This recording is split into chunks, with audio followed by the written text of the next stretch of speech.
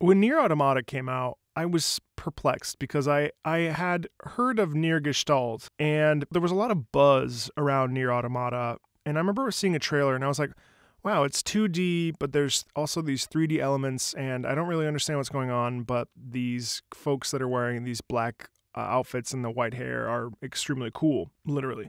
That was what I thought. And the more I watched trailers and gameplay, the more I was like, wow, this is like really cool.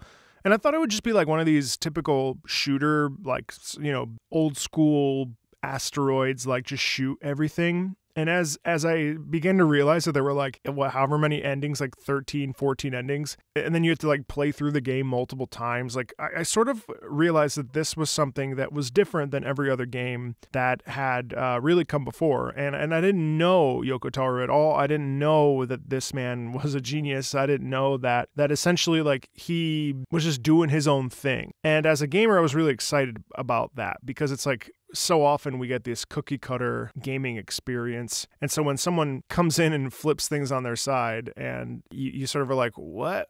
And uh, that's what this NieR Automata is to me. I played it so much and it was so good. And when I heard City Ruins from the soundtrack, I was I was transfixed and I downloaded the theme for my PlayStation 4 it was like a machine in the forest with 2B looking at the machine. And it played City of Ruins on repeat. And I didn't realize, I didn't know what the Chaos language was at the time. So I, I always thought that I was just not hearing the lyrics correctly. After like six months, I was like, wait, this is gibberish. I know it's not, it's a made up language, I understand. But it sounds like English, but it also sounds like uh, like a million other foreign languages all combined into one, and just blew me away. That became the theme. I was always on. I loved listening to it while I was cleaning, while I was just sitting there idle, looking at my phone while on my PlayStation, not doing anything. This theme is deeply sentimental to me because it it was some of the best years of my life. When I was an opera singer at opera school in in Philadelphia, I was basically always listening to this theme when I turn on my PlayStation after a long, stressful day. Nier has some of the best music ever written. Keiichi Okabe is phenomenal. Let's just listen to it.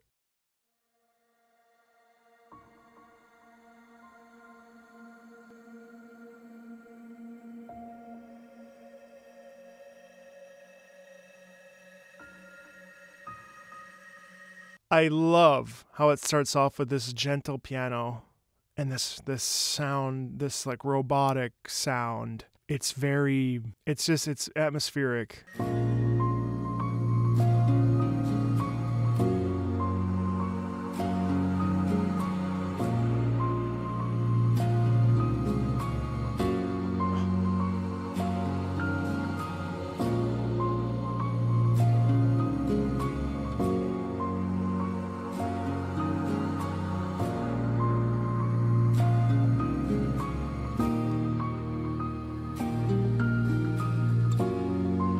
I love the guitar,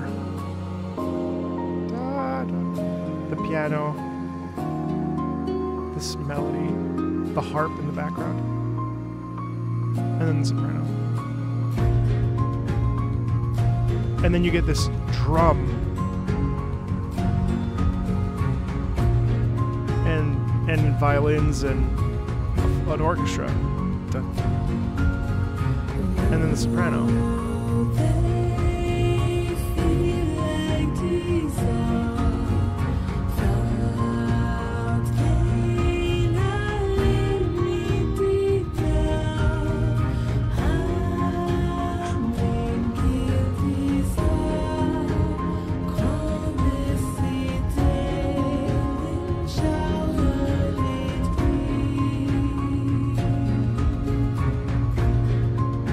What's funny about City Ruins is that there there's a sense of peace.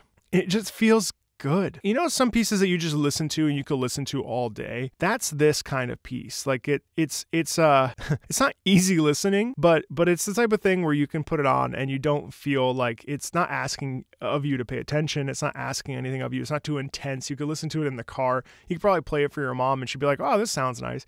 You know what I mean? Like it's not it's not the type of piece. It's not a divisive piece, let's put it that way. The fact that he that that they use a harp, a guitar, and a piano it's so peaceful and it just it just feels good you you listen to it and you're like yeah but then the drums pick up and it feels like you're on a quest I don't know, just it just helps to elevate the piece to a neck to a new level.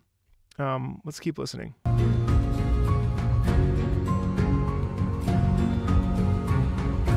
You know, the drums make it feel important. Like it's not like just like, oh yes, we feel good. It's like, no, something is happening. Um, that's what I that's my takeaway from the drums.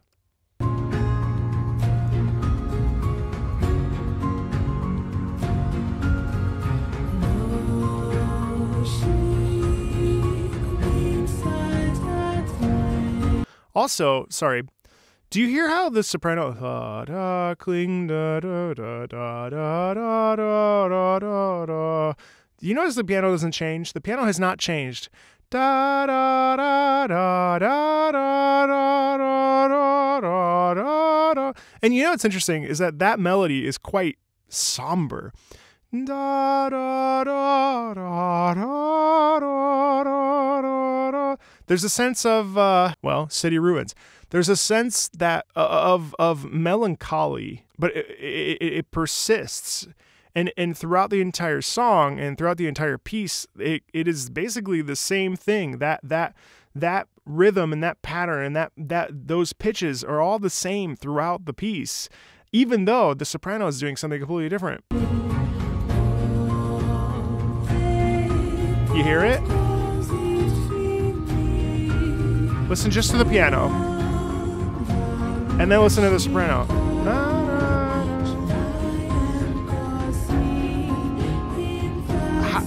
those are syncing up in a in a bizarre, beautiful way. And then the piano changes here. Oh.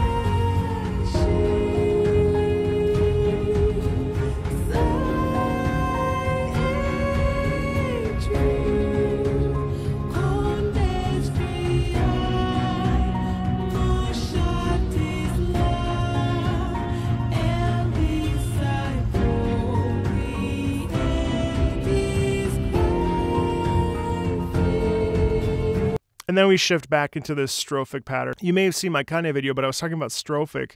And typically in, in sung music and in German Lieder, there's typically the, the, the piano accompaniment is all the same, but then there's lyrics over top that are different.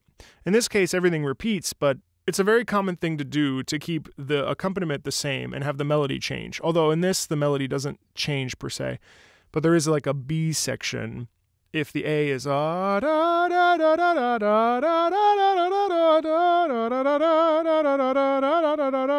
B section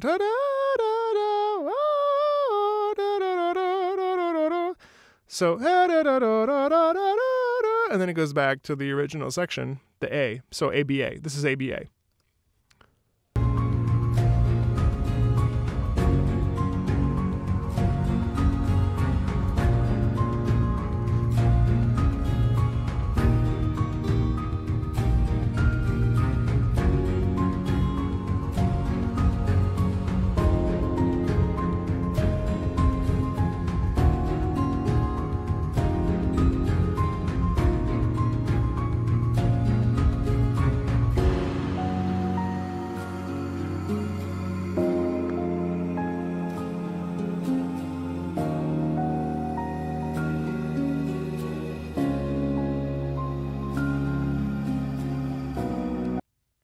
Like why is that metallic music in there? Why is that why does that metallic noise in there? Is it to reference the yorha why does that machinery sound why is that there?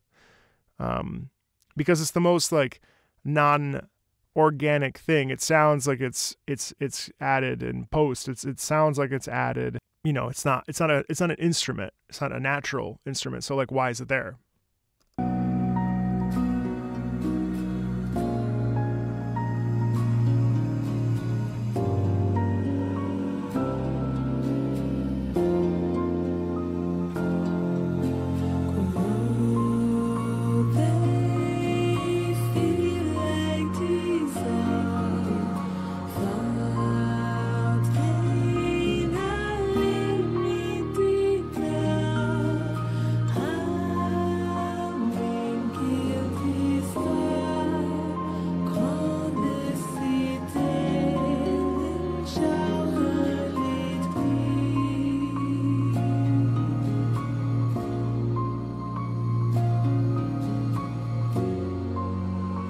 again, this combo of guitar and harp is fascinating.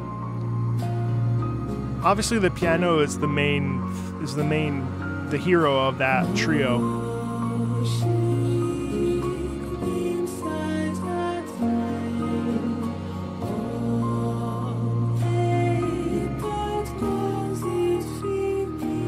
Also, you hear that echo in the voice.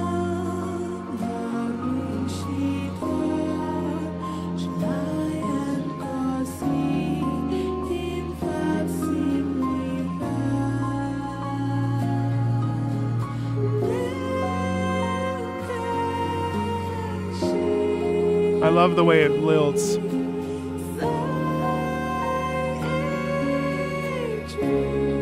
I also love that the soprano. There's a lot of sliding. You know, in, in music we, we call that legato. There's a lot of there's a lot of sliding around and then also scooping up and in a way it's almost like a glissando, you know, when the piano goes that's a glissando. It's kind of it's kind of dirty. Like in in in as a singer, you know, she doesn't go, oh, which would be a very different thing. Then she goes, oh. What does that do? There's a connection there. And so when we muddy and blur note shifts, not only are we keeping legato, but we're also highlighting emotion in a deeper way, uh, which is really cool.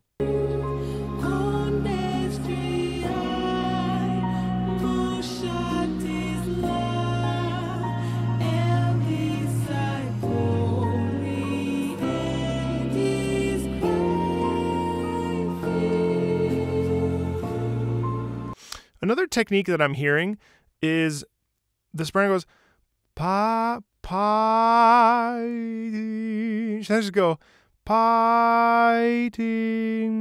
That's very bland and it's very boring. And again, it's the singer's job to accentuate emotion with the human voice.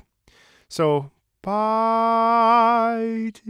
There's a place to go, and and and oftentimes uh, something that we do as singers, you go fighting because we want to swell into a note because everything is alive. Notes are alive. Everything you hear is alive. When we do things like fighting, we're teasing the the the life into the notes rather than just fighting, which is beautiful and it's on, on its own, but it doesn't it doesn't enhance the experience. It's just singing notes on a page. This song I just I just love it. I, I love it so much. And it just makes me happy to listen to it. It makes me feel it makes me feel good. You know, it makes me feel peace. So much of game music at times it has to fit a narrative or fit what's happening on screen or a boss battle or whatever. And obviously, we get a lot of that in NieR. There's something so beautiful. Yeah, it's just nice. It's just a great tune. It makes me feel good. And it's one of those tunes like i said you can play it in the car when you're feeling some sort of way whether you're happy or sad. I think like this song this piece always brings me personally back to middle and every time i hear it it's like listening it's like a familiar friend and i really love how that feels. I'm going to do a whole NieR series because i think that's being requested and i think it's really fun and there's so many good pieces so many good pieces in NieR, in the NieR world and um, thank you and we'll talk soon. See ya